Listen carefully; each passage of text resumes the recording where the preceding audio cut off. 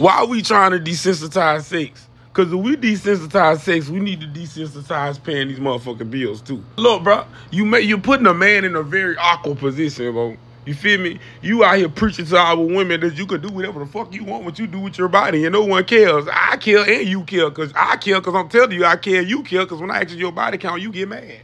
So obviously you give a fuck. The fact that they preaching that to the women and, and, and telling them they can still find a, a husband that they want got me thinking these bitches may be some determined idiots. Real shit. Look, bro, how you gonna preach that to the women, but meanwhile you over here preaching to the men, lead, provide, protect. Boy, look, if I lead, provide, protect, and die for the shit you telling me to lead, provide, and protect to on my mom, I'm gonna be in heaven mad as fuck. I'm gonna be like, God, look, I know I know I died behind this bitch because you asked me one question. What, son? How many bodies did she have? Seven.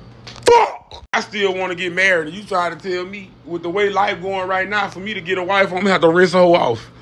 I'm to have to find a whole rinse off and be like, look, don't do that no more. You think niggas finna argue with that? Hell nah. Niggas gonna be like, look, bro, I get together, you get together, we pay half the bills. Then the bitches be, what? Yeah, bitch. You know that's how you been acting anyway. These bitches be getting offended by life like you woke up and lived it for them. No, bitches, these are the consequences from your own shit. Leave me the fuck alone. And stupid hoes stay making a nigga chuckle and shit, bro. Just listen to them, bro. I told you, virgin mentality, but whole reality. Bitch will come at you telling you bop, bop, bop, bop, bop, bop, bop, what you need to do to fuck with a type shit, right? As to be how she doing, she'll tell you her expectations. But in reality, if you ask the bitch her body count and she had to answer you that question, because it causes you to self-reflect, you and her will both realize she don't live by her own expectations. Nigga, she just don't like you that much. Uh, bro, the expectations don't be matching the body count. So, look, boom, think about it, bro.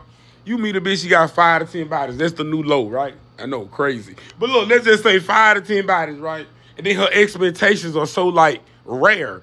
You be like, how the fuck do you got five to ten bodies, but you got expectations with five or ten of them niggas don't even exist? So you gotta be lying.